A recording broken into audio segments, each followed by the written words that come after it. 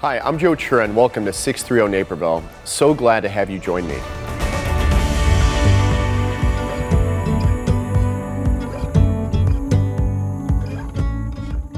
On this program, we'll get running tips from an expert, learn a five minute look, get help demystifying divorce, and find out how to get plugged in at home. But first, we're off to Lazy Dog to join Kaylin Risvold and Christine Jeffries to get the dirt on some exciting new developments.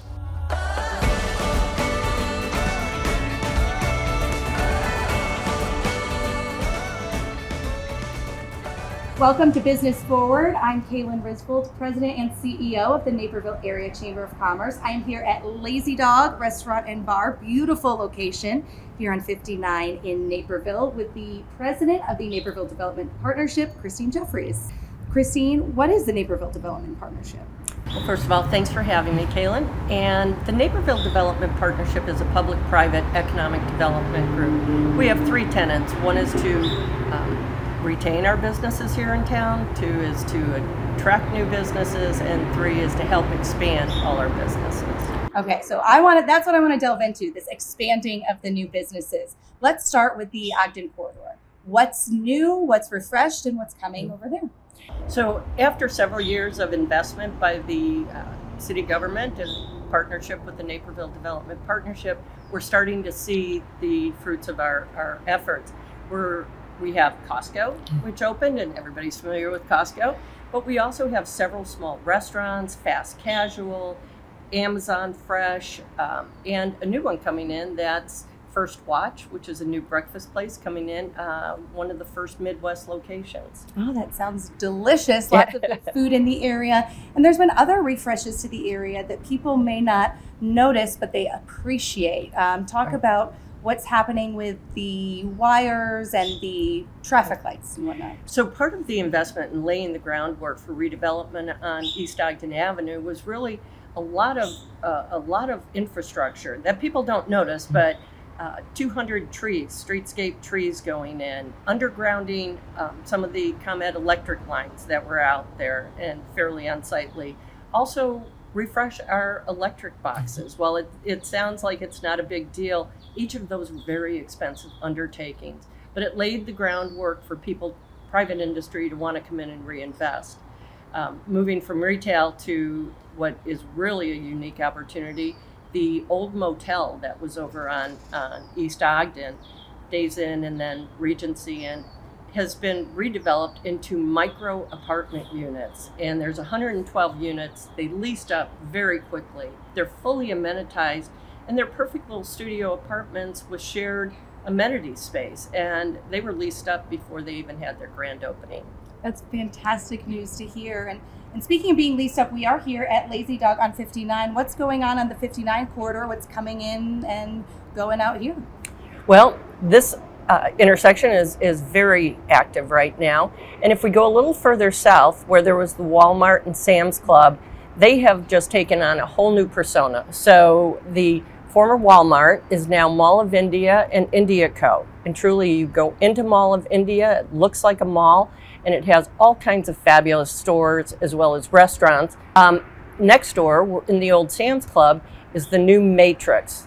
And all we can say is, wow, this is 120,000 square feet of entertainment space from a seated theater uh, with stage uh, to a bar restaurant with live entertainment stage and then in the middle is a huge banquet facility that can handle over a thousand people seated and up to 2,000 people for concerts. I'm really excited for that. And also, the Chamber will be hosting their gala January 27th at Matrix. So excited to get there in action. All right, before I let you go, I can't let you go without asking anything else you can tell us, anything new coming that maybe isn't out there yet? Uh, there is some exciting news, and it's just over our shoulder here in the Heritage Shopping Center and, and Westridge Court. Brixmor, the owner of the center, is going to redevelop the corner of Aurora Avenue and Route 59 into what's called Block 59. Block 59 will be a whole new entertainment area. So Lazy Dog will be one of the flagship, one of the anchors here. Um, and then Hollywood Palms Theater, of course, will will remain. All the rest of it will be redeveloped. Uh, obviously, we'll keep a lot of the retailers and keep a lot of the stores, but all new restaurants coming in, outdoor entertainment space that will be programmed year round. So, Block 59, watch for it starting starting spring of 2023. Awesome. Well, it's nice to hear about what's coming and what's already been here and appreciate all the great work you've done to help get it here. So. Well, we enjoy partnering with the Chamber. Awesome. Thank well, you. thank you for your time. Thank you for joining us here at Business Forward. For more information on all of the things we're seeing talked about, head to nctv17.com.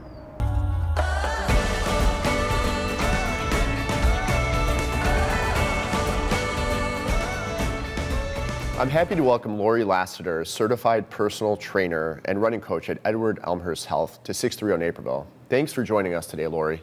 Thank you for having me on the show. All right, first question Is it possible for anyone to be a runner? Well, unfortunately, no. Probably not everyone can be a runner. That's why the first thing I recommend when someone wants to go into running is that they get a medical clearance, in particular if they're older or they have cardiovascular issues or bone or joint issues or really any health concern that they might have that they think would interfere with running. That makes sense. When you're just getting started, what are the, some other important tips that you want to really think about when it comes to running? I think the most important thing is to start from your current level of fitness. So if you're not a runner, don't go out and run three miles the first day. I always recommend that people start with a walking program and build up to walking 30 minutes at a time, and then start to introduce running intervals. And what I like to use is two minutes of walking and one minute of running for 30 minutes. And then you can slowly start to increase that running interval. Once you get past that point and you've started, what programs would you recommend? Uh, there are online programs that you can follow. Uh, if you're a beginner, make sure you pick a beginner program. If you're running a half marathon, a 5K, a marathon, you know, pick the right distance. And You also want to pick a program, the length of which is going to lead you up to whenever your goal race is happening. Got it. There's a million types of shoes out there. It could be confusing walking into either a large sports store or a running shop. What are some guidelines that people should follow when it comes to picking the right shoes? Well, definitely go to a running store or a store that has a big specialty uh, with runners. Uh, usually it's good if they have a treadmill in there and they're going to actually look at your gait and see how you're landing on your feet, whether you land on your heel or on your midfoot or on your toes, uh, how heavily you're landing, and also look at your pronation, whether your foot is turning over as you run. And all of those elements are going to help them pick the right shoe for you. Got it. So what if you're already a runner and you like to try a race like 5K, half marathon, or marathon? What training tips can you share? Well, I would say I for well, first of all, I would say that my uh, I write a running blog for the Healthy Driven Naperville half marathon and 5K. It's at runnaperville.com. And all throughout the summer leading up to the race, I'm sharing lots of different training tips for running in the heat and working on your speed and all kinds of things like that. But I think the main thing is to pick a program that you that matches up to your fitness level and then really try to stick to it. And it's important to stick to it. So maybe find a running buddy or a running group that you can run with. Uh, motivation becomes an issue as you're training. Got it. That makes sense. I love the the tip to have a running buddy. I work out with my wife daily and it really helps motivate both of us to have a, a, partner training for something. Should runners supplement their runs with strength training? And then what about stretching? How does that fall into someone's workout? I'm a big proponent of strength training for runners. In fact, that's how I got into personal training because I was a runner and I was getting injured quite a bit. And then I discovered strength training. It's very important to focus on your core your hips and your lower body, your legs, your feet, ankles, and do things like single leg training, such as lunges, deadlifts, squats for the core, things like planks and side planks. I actually teach a class called Run Smart once a week, which is strength training for runners. So that's how important it really is to me for runners to strength train. As far as stretching goes, I would say focus on stretching after you run rather than before you run, and focus on the hamstrings, the calves, and the hips. Lori, if I'm training for a race, let's call it a, a 5K or a half marathon, how should I think about what to eat before that race?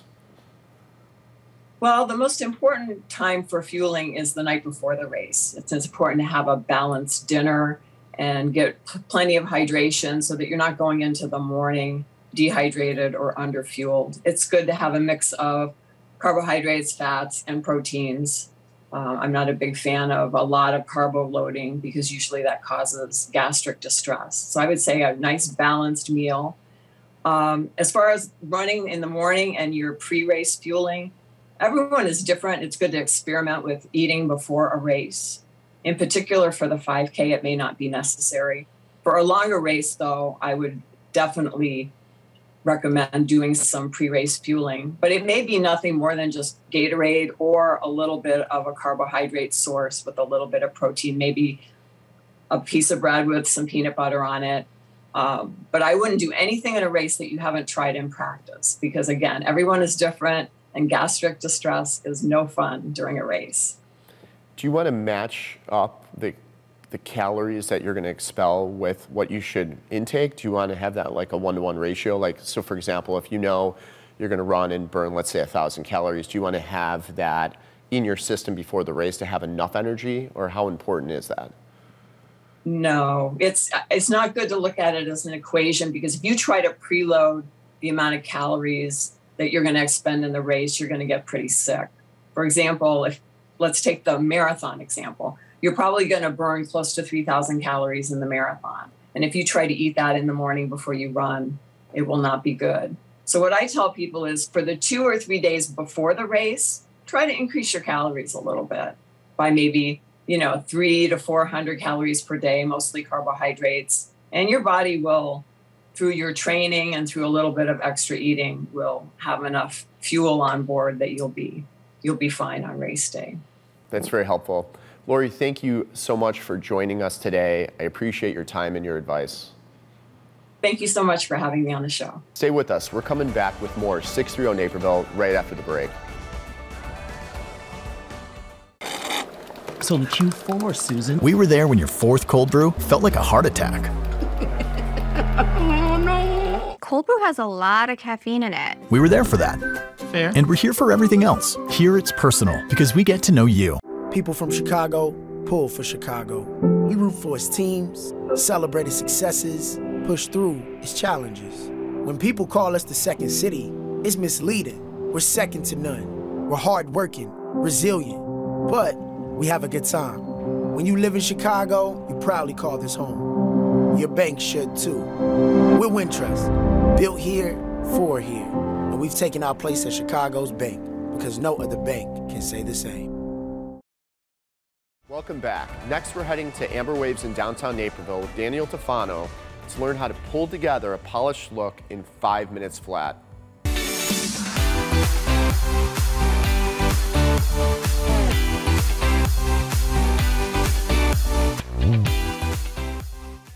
Simple and easy glam. It's what we're all looking for, whether it's our hair or whether it's our makeup. And what better place to go to in downtown Naperville than Amber Waves? We're here at the intersection of Jefferson and Webster. We're going to talk to Gabby, we're going to talk to Elena with our model Chris, and see what they have for hot summer looks.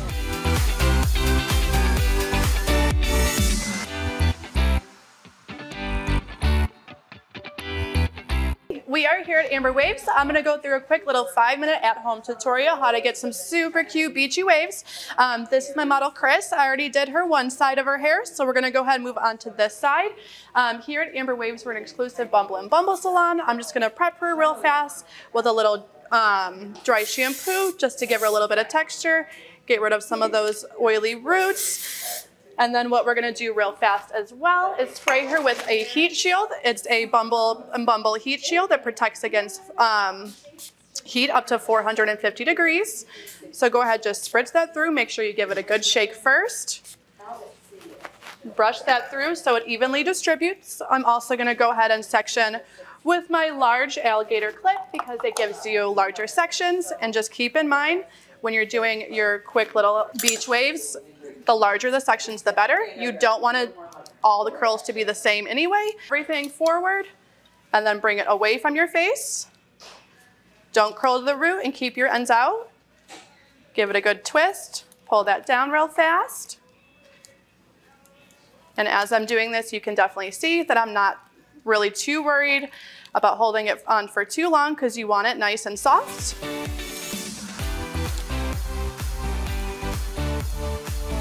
Then we're gonna go through for our next section real quick. You can section out with your clip and then while you are at home, when you wanna let these curls cool down right before you run your fingers through it, go ahead, just brush your teeth, put on your makeup, let your curls cool down prior to running your fingers through it. It's gonna give you a little bit of hold, a little longevity let those curls kind of cool down a little bit. As you can see, I'm not being super precise about the sectioning in Chris's hair. Longer the better. Take some larger sections, larger the better. Makes it a little bit more beachy, a little bit airy. And then we're gonna go ahead and finish off with our Bum Bum Bumble dry spun and a little bit of our Demode hairspray for some hold. The dry spun's gonna give you a little bit of texture, a little bit of grit, more of that beachy feel. Now let's go through with our texture sprays real quick. And then like I said, always let that curl, but just for this, I'm gonna show you how everything kind of looks when you run your fingers through everything. Go ahead, turn your head to that side. Nice, soft, tassel texture, super beachy for the day for Chris, and we are all set. Mm. And now we're here with a quick makeup look to show you that's perfect for summer. So for Chris, I went in with a warm, creamy matte brown all over her lid and blended it kind of up into her eyebrow just to give her like a nice soft wash of color. In her inner corner, I went in with a little bit of a more of a shimmery shade to brighten things up. And then instead of a liquid or cream um, product, I went in with a darker eyeshadow, um, kind of like on her lash line just to give her more of a smoked out effect. And since it's a powder, it's not gonna run or smudge on you in these warmer months. And then to finish her off, I went in with like a soft gloss and just a nice smooth complexion for her. And that's just a nice easy way you can achieve a quick look for these hot months. Quick and easy ways to get glam from the comfort of your own home. Thank you to Gabby. Thank you to Elena. Thank you to our model Chris for um, giving us some tips and tricks. And come and see the girls here at Amber Waves. Thank you.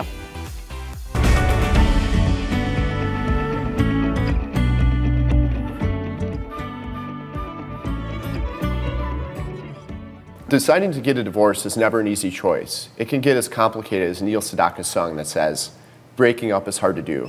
In this installment of Legally Speaking, Bernanke Law Firm attorneys Rick Karner and James Bernanke take us through some of the questions they get from clients to help us demystify divorce. Welcome, guys. Thanks.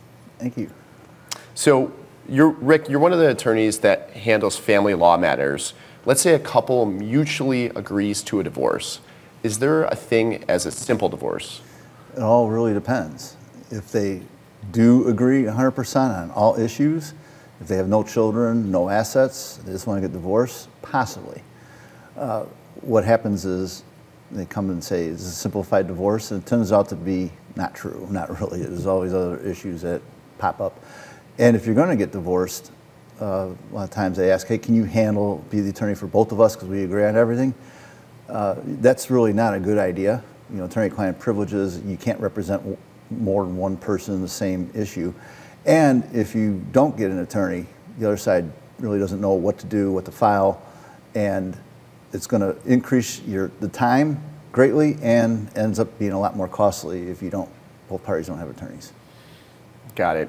And James, you have seen this a bunch, and the home just seems like such a a big topic when it comes to this. What happens to the house in a divorce? Yeah, you're right. That's that's usually the biggest asset that people have, and um, in all divorce aspects, it, it depends.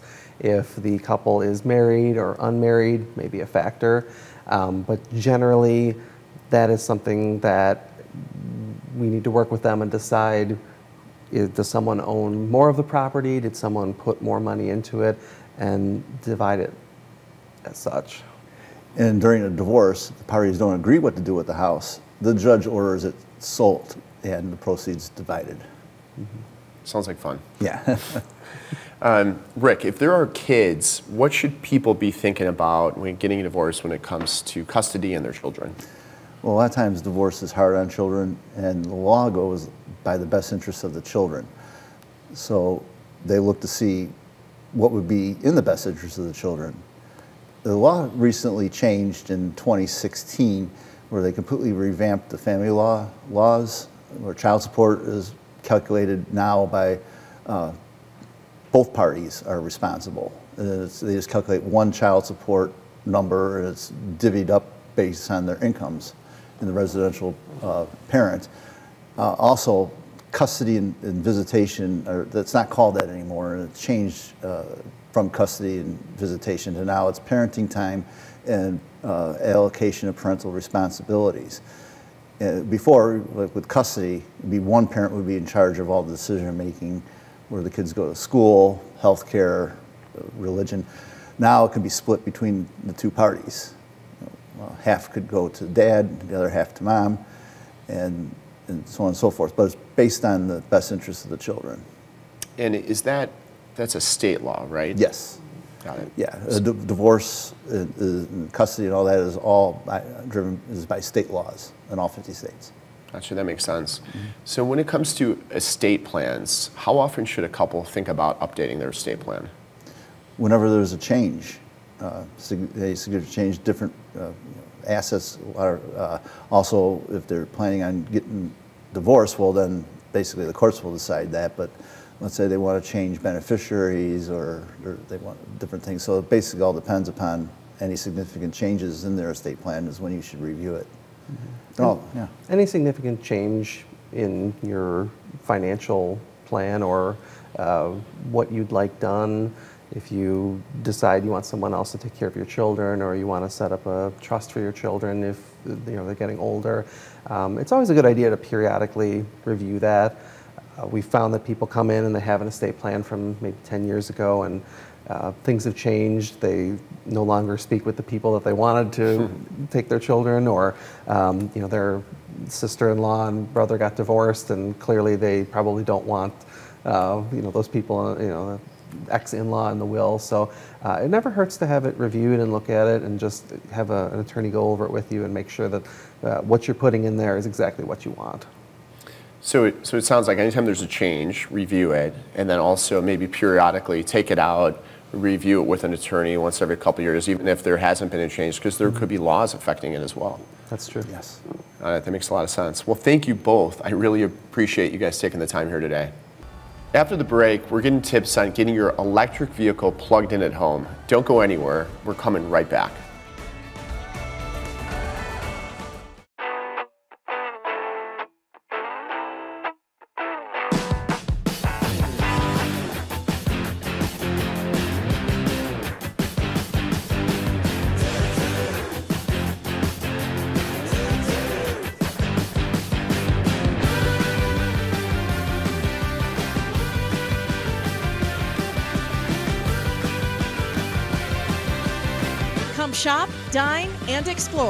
Downtown Naperville. We were there when your kid discovered poison ivy. Now remember, leaves of three. Let it be. We were there for that, and we're here for everything else. Here, it's personal because we get to know you. Welcome back to 630 Naperville. Up next, we're heading into the field to learn what you need to know to install a residential EV charger in your home.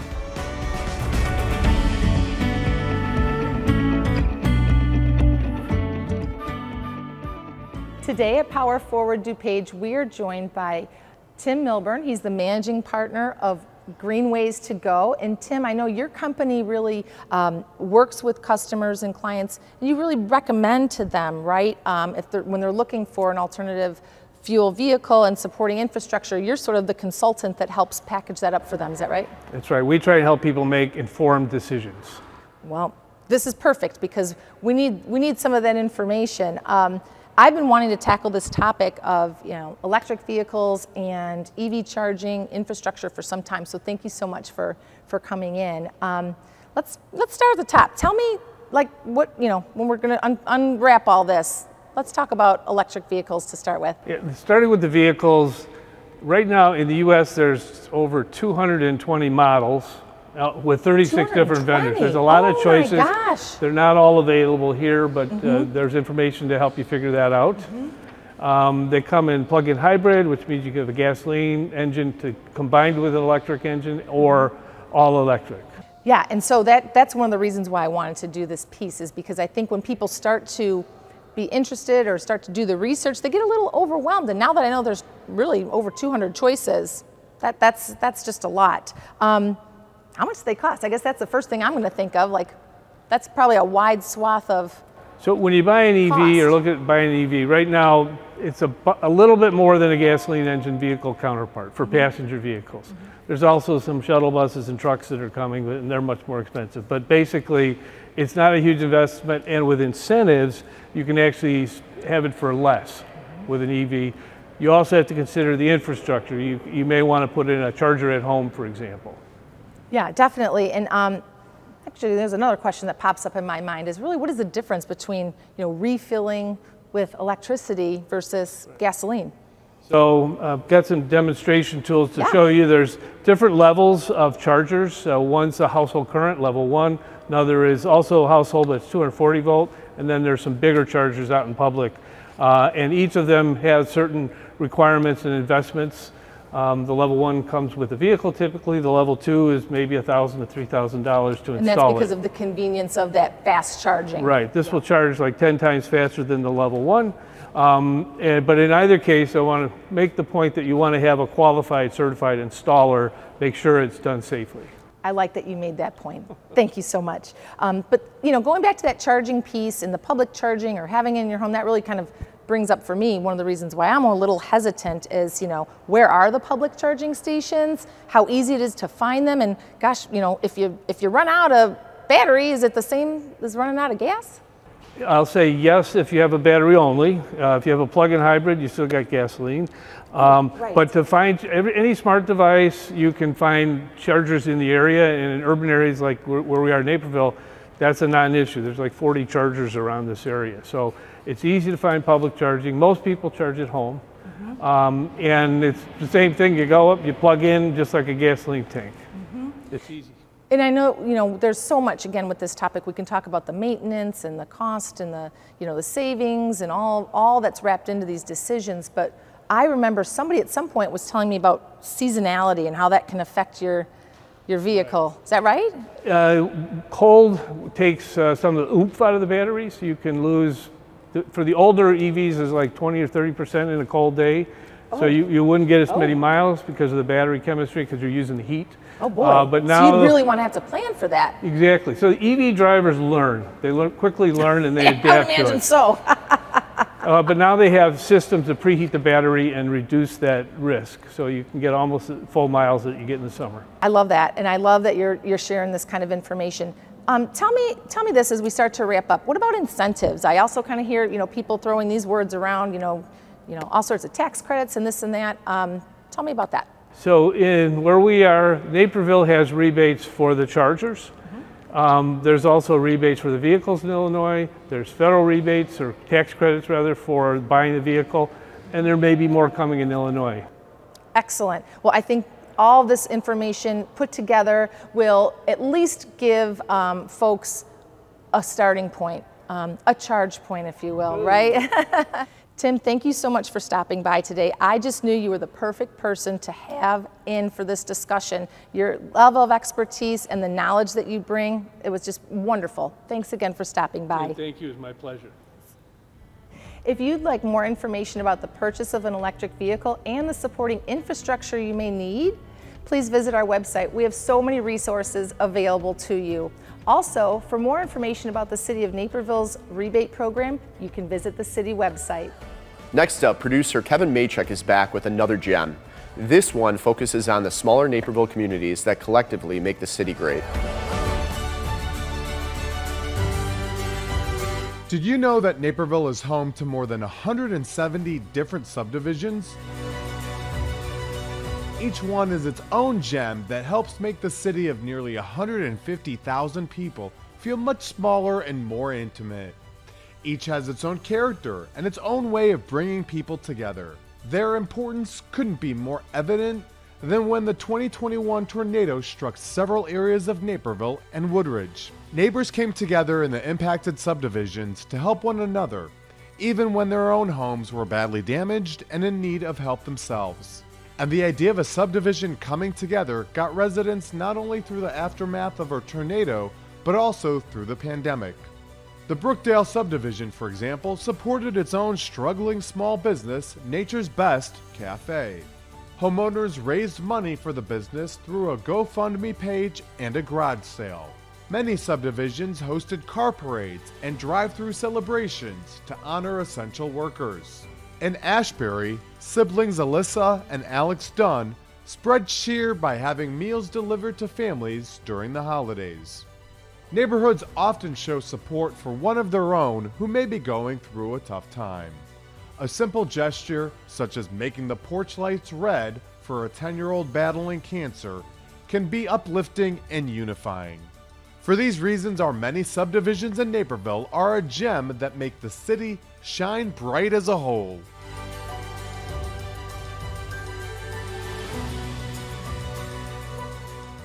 I love the sense of community here and the way the neighbors show up for one another. That's going to do it for us on this edition of 630 Naperville. Remember, if you think you can do more, you can. I'm Joe Chura, and I'll see you next time.